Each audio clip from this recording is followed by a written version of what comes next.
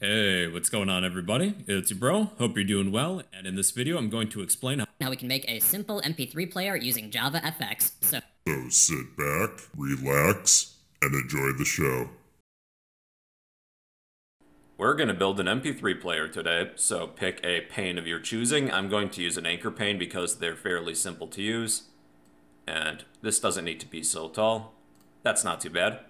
Okay, let's give this pane a unique ID. For the ID, let's just say pane. Now let's add a label to hold the name of the current song. Labels are found underneath controls. Just drag and drop one, place it near the top. Let me increase the font size. Pick whatever font size that you want. Maybe a little bit bigger. That's not too bad. Okay, then let me expand this. And I'm going to center it. So go to alignment, then center. And let's give this label a unique ID. Let's say that this is song label. Then let's add a progress bar directly underneath. So that is found underneath controls, progress bar. Let's place it underneath our label and expand it. And this will be song progress bar. And we'll need a bunch of buttons for controls. That is also found underneath controls. Let's begin with a play button. Let's expand it. I'll increase the font size too. And change text to play. Let's copy this and paste it. The next button will be pause. We'll link some methods later on. Then we have reset to reset the song.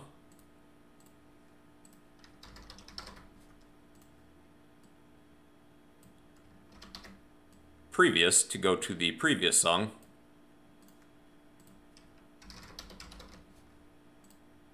Let me decrease the font size. That's good. The next to go to the next song. Okay, we'll need a drop-down menu of some sort, preferably a combo box to change the speed of the song that is playing. Okay, for the prompt text, let's say speed. Then a volume slider. Let's use a horizontal slider. I think I'm going to expand this a little bit. Just so we can fit that slider in.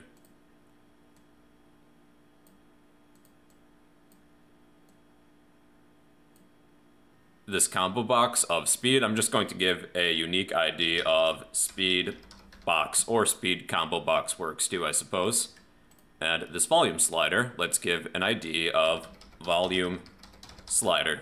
I think I'm going to expand the size of this label, so let me drag and drop the buttons down. Same thing goes with the combo box and our slider, and the progress bar. And let me increase the size of this label, and increase the font size too. That's pretty good. And I'll change the text. Let's say MP3 player. Now what we'll do at this point is give each button a unique ID and link a method using onAction. So let's begin with the play button. Play button onAction play media. Then go to pause. Pause button onAction pause media reset button, reset media. Okay, previous button, previous button, on action, previous media. The next button, next button, next media. Our combo box, we have an ID of speedbox, onAction, change, speed. Our volume slider doesn't have a on action section, so we're going to add a change listener to that within the initialize method. Let's just make sure that we have a unique ID of volume slider. Same thing goes with our progress bar, song progress bar. Our label is named song label. Okay, there's a few things that we need to do within our volume slider. So click on your volume slider underneath properties. Let's keep min at zero. So zero will be muted basically. Max will be 200, so we can increase the sound of our music, the volume, to 200%. The default will be 100, so let's change value to 100. And that should be it for our volume slider. You can also change the color scheme of your nodes by using a CSS style property. So click on a node of your choosing. Let's change the background color of our pane. So I'm going to click on my anchor pane, then go to properties, then underneath style, I can add a CSS property of my choosing. So if I would like black, I can type in the word black, or I can use a hex value. So let's say six twos. Now we can do something similar with the label, and then go to text fill and change the color here. So that's another option too. And we are done building the layout of our MP3 player. Let's make sure that our controller class is linked, save, and then head to our controller class. Before we forget, we should refresh our project, so I'm going to go to my project folder and click refresh. So in order for this program to run, we need to declare all of those different methods that are linked to each button. So they can be found within your fxml file, then you can see anything underlined in red we'll need to declare as a method. So let's head to our controller class, and the first method that we'll declare is our initialize method, but we need to implement the initializable interface.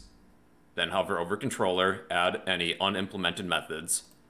After our initialize method, we're going to declare our play media method, public void play media, followed by pause media, let me copy this, paste it. Let's change play to pause media. Then we have reset media. Previous media. Next media. Change speed. And there will be one parameter of action, event, event action, event, event. We'll also be implementing a timer.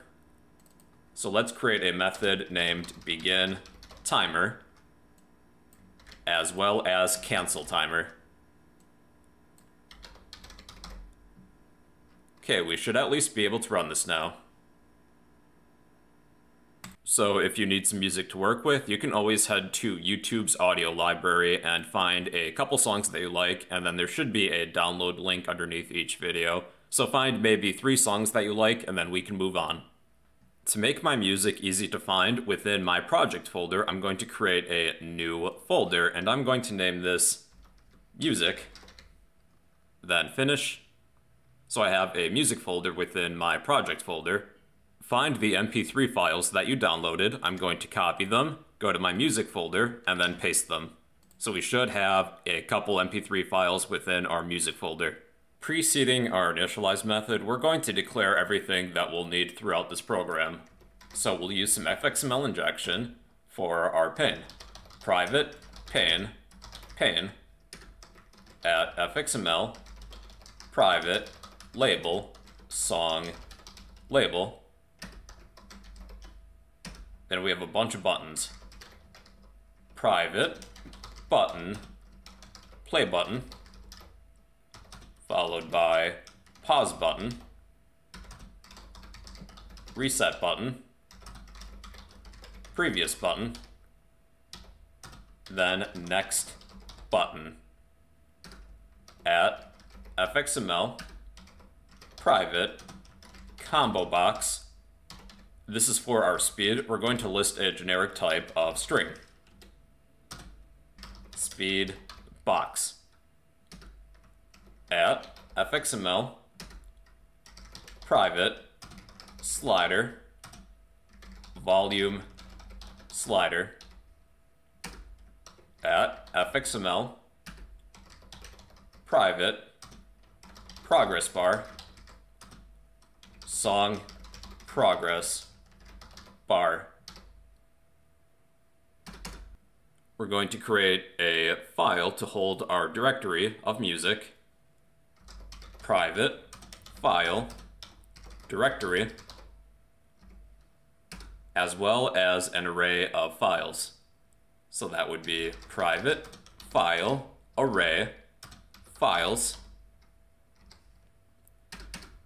and an array list of files private array list will list a generic type of file and this will be named songs.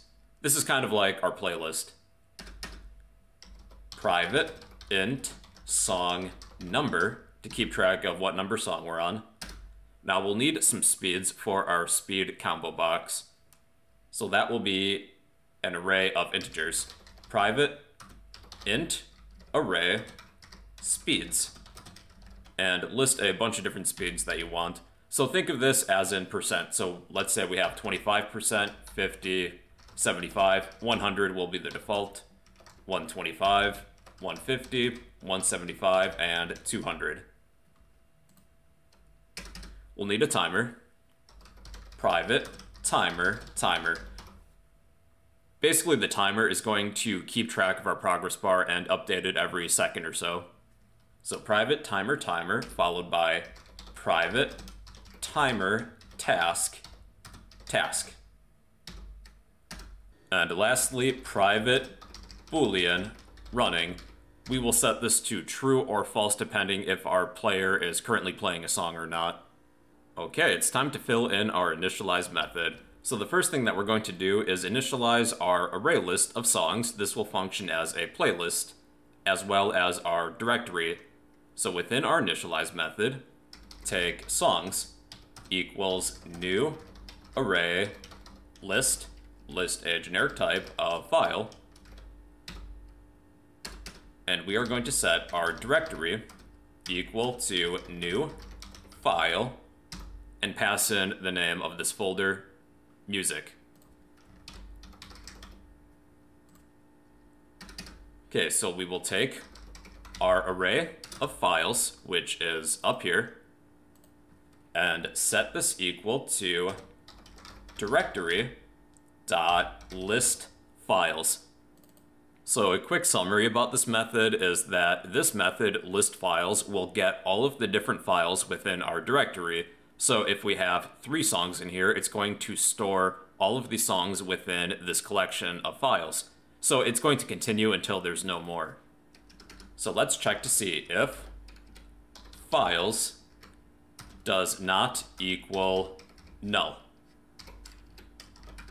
If it does not equal null, then we'll create a for each loop for file file in our array of files. We will take songs, that's our array list, dot add file. Just to test this, I'm going to system.out.println each file, just so that we know that it's working fine.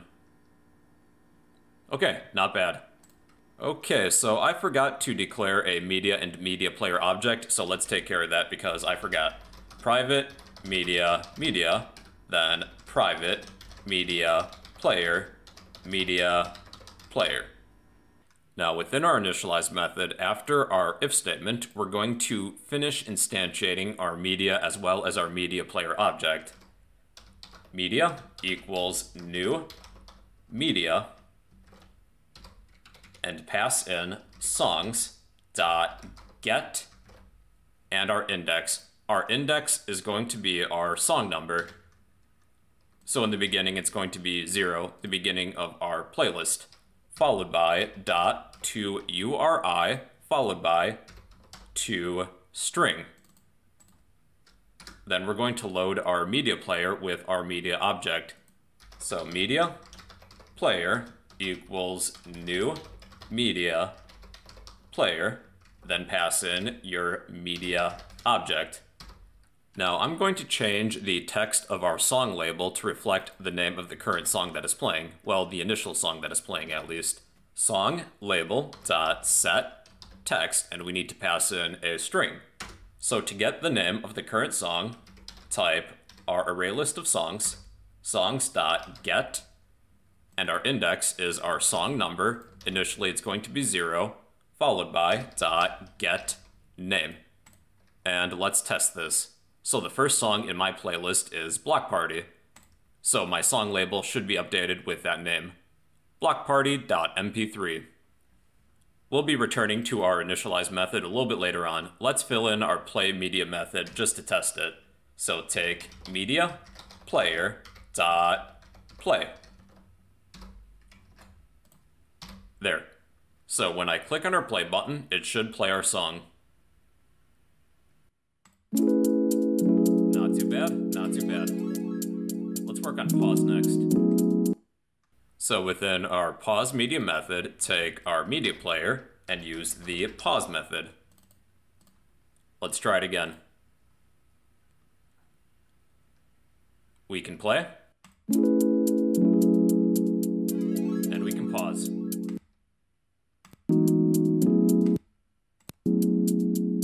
Alright, within reset media, all we have to type is media player dot seek. And we have to pass in a duration. Our duration is going to be seconds 0 0.0. I guess just 0 works too. Okay, let's try the reset button. Okay, play.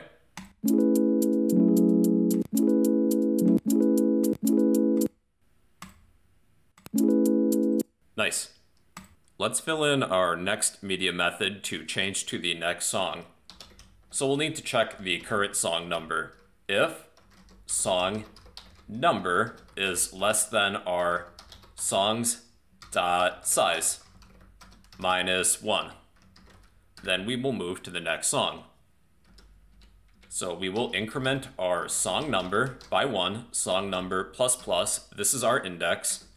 And we will take our media player and use the stop method. And we will play it later on. And we will load our media with a new file. Media, actually we can copy this part. So copy media and media player, these two lines, as well as our song label too, I suppose. Let's copy all of those lines, and within our if statement, within the next media method, let's paste these. So what would happen if we reached the end of our playlist? So let's take a look. So I'm just going to hit next, next, and we can't move past the last song, so we would like to go back to the beginning of the playlist. So that will be our else statement. Else, let's copy all of this code, but we're going to make one change. Set song number equal to zero. So I should be able to cycle through my playlist using the next button. So I'm beginning with Block Party here, followed by Level Up, 12 speed, then back to Block Party. And let's play these just to be sure that it's working. So we have Block Party, Level Up, then 12 speed. So if you want these songs to automatically play after hitting the next button, you can just add this line. We just have to call our play media method at the end. So at the end of our if statement, play media if you want the song to play automatically after hitting next. And add that to your else statement as well.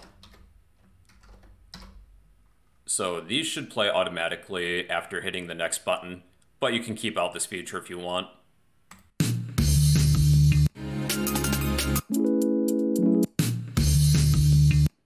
Now let's fill in our previous media method so we can move backwards through our playlist. And honestly, we just need to copy everything within our next media method and make just three small changes. So let's copy all of this, then paste it.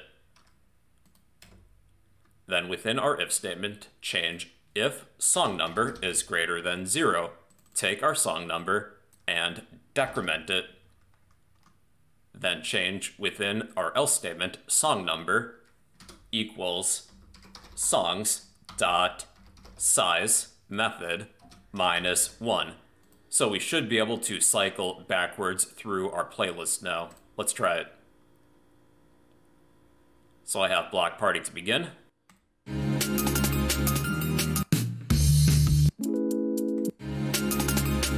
Now our next task is to work on our speed box to change the speed of the song that is currently playing. Currently there's no values. So within our initialize method, head to the bottom and add these lines of code. We'll create a for loop. int i equals 0. We will continue this for loop as long as i is less than speeds dot length. Speeds is our array that we initialized in the beginning.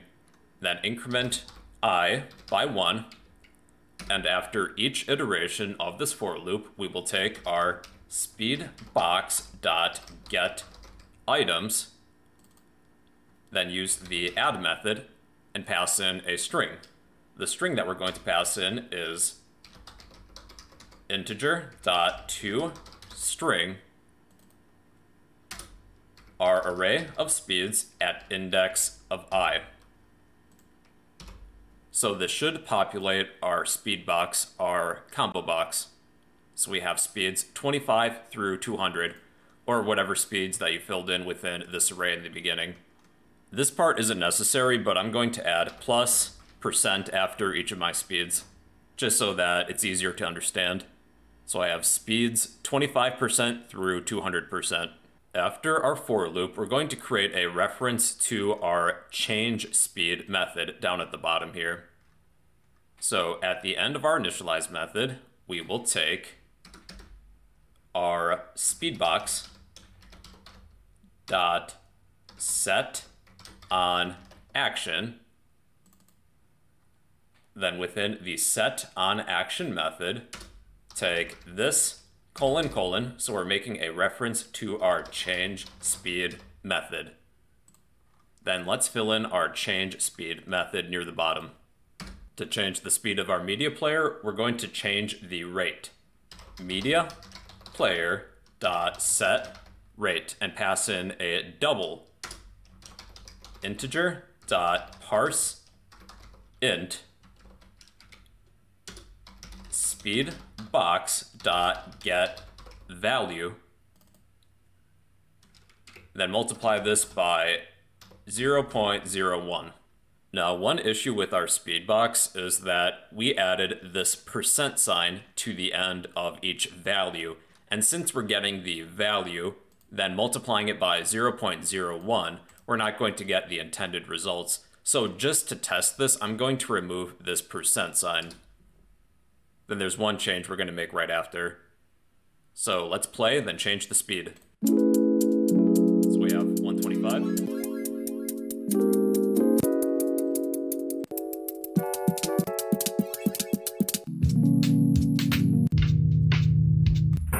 Now, if you were to keep this percent sign in and append each speed value with a percent at the end, this is going to be the result. We'll just run into an error, really. So let me change the speed. All right, so we need to account for this percent sign, and one easy way to do that is to create a substring. So let me turn this line into a comment. So here's the change that we're going to make. After get value, we'll create a substring dot sub string. We need a beginning and ending index. Zero, comma, speed box dot get value followed by dot length method minus 1. So this should work now. So we have all of our speeds plus their percentages. And we can change the speed. That's a real slapper right there.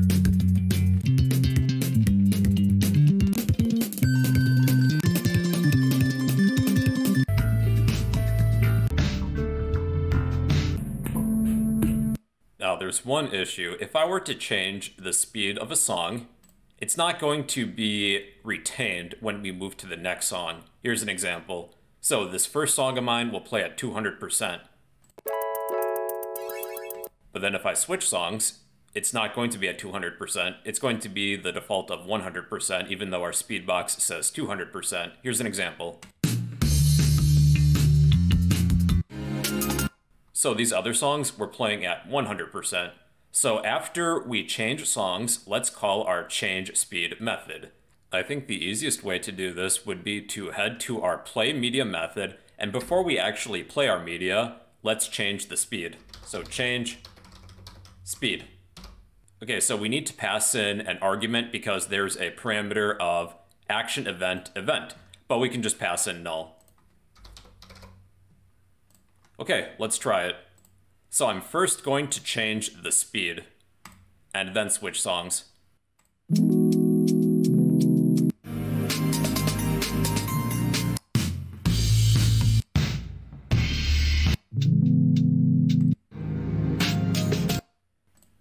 Okay, now check this out. What if I was to change songs without changing the volume first?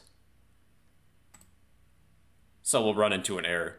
The reason that this is happening if I were to change songs without changing the speed first is because with our speed combo box, if we do not initially select a speed, this will have a default value of null. And then when we do change our speed, what we're doing is that we're taking our speed, multiplying it by 0.01. We're basically multiplying null times 0.01.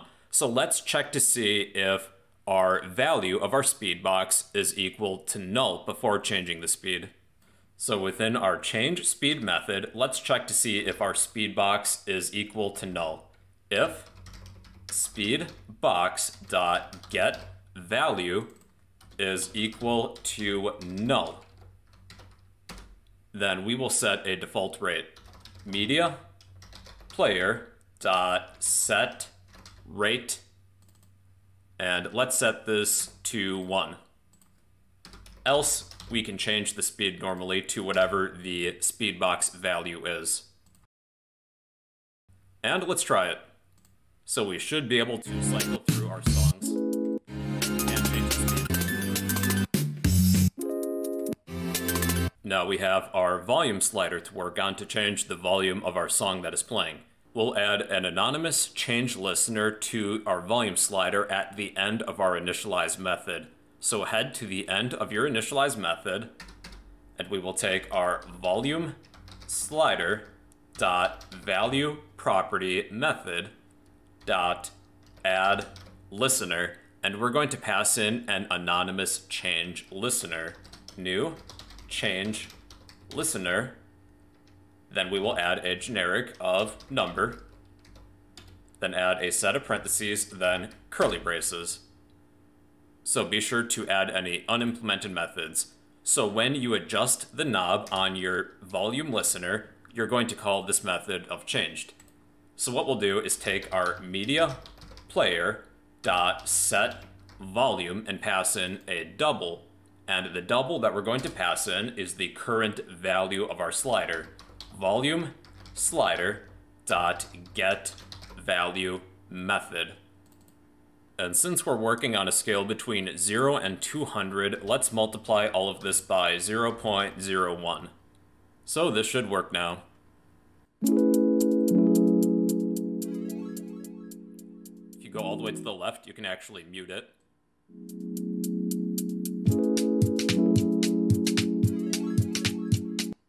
Hold on, we need to fix something. I'm going to change the max to 100, and let's set the initial value to 50.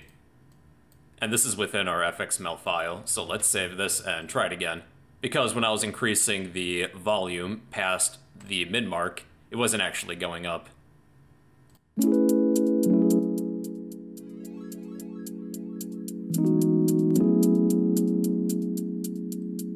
Now our last mission is to work on our progress bar, so after about every second, let's update the progress of our progress bar to reflect how much of our song is complete. And then once our song is complete, our progress bar should be at 100%.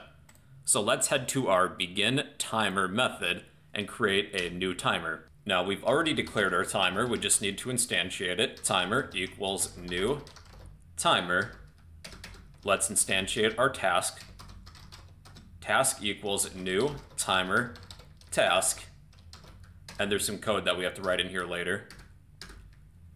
And we will take our timer dot schedule at fixed rate and we pass in a timer task a delay, and a period or interval of time to repeat our task. So we have our task. Let's set our delay to 1000 milliseconds, so one second, and we will repeat this every 1000 milliseconds. Okay, within our timer task, within these curly braces, let's declare a run method. Public void run.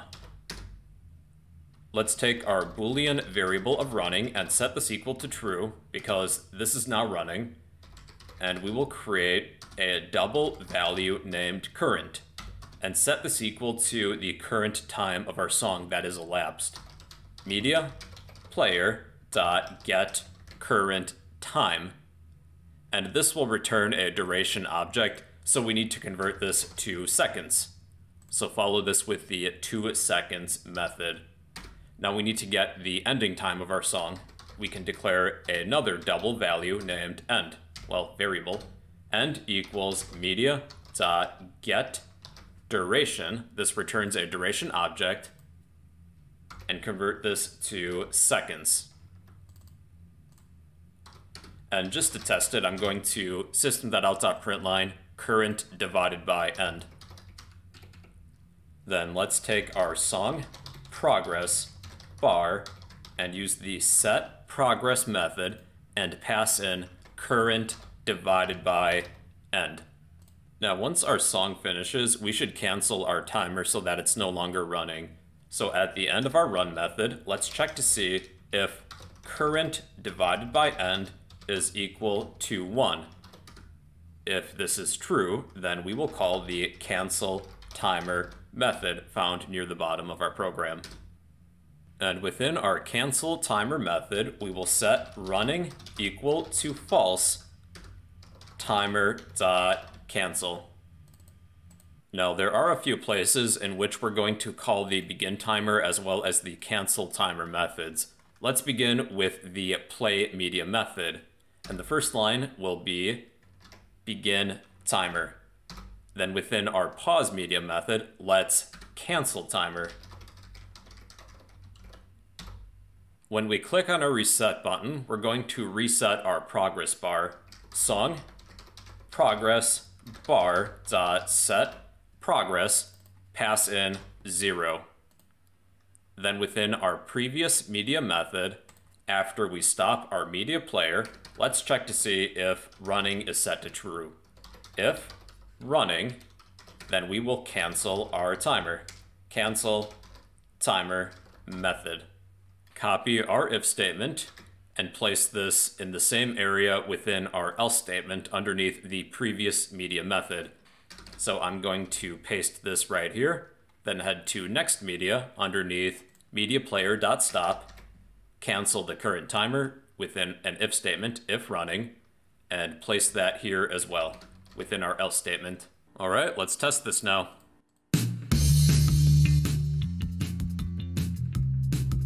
So you can see our progress bar is filling with progress. Now you technically don't need this print line statement, I was just checking on the percent that our progress bar was filled. You can always multiply that by 100% and format it to to get a percentage. Okay, this is how to change the color of a progress bar, the meter that fills up, because normally the default is blue. So let's add this to our initialize method near the bottom. So that would be right here. So take song progress bar dot set style, and we can add a CSS property as a string. So that would be dash fx dash accent colon, space, you can add a color name or a hex value. So let's say that I would like green to match, that would be 00FF00, then semicolon. So my progress bar should be green now.